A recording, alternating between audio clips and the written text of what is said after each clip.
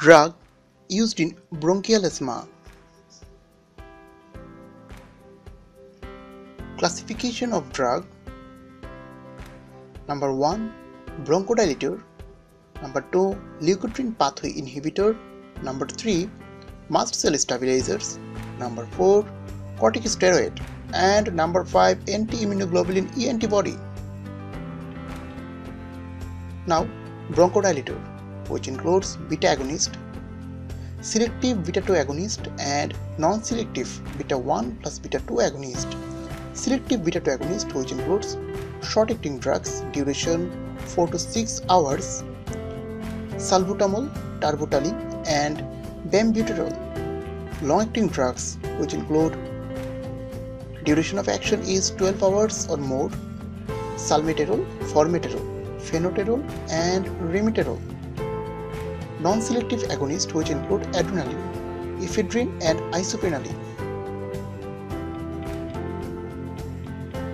Methylxanthine which include theophylline, aminophylline and doxophylline.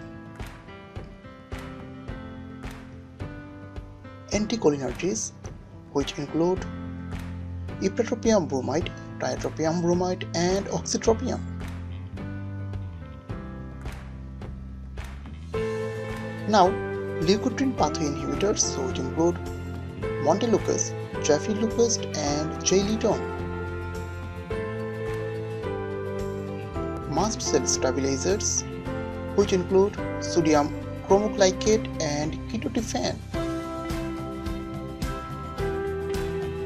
Now corticosteroids. Systemic corticosteroids, hydrocortisone, prednisolone. Inhalational corticosteroid, beclomethasone, budesonide and fluticasone.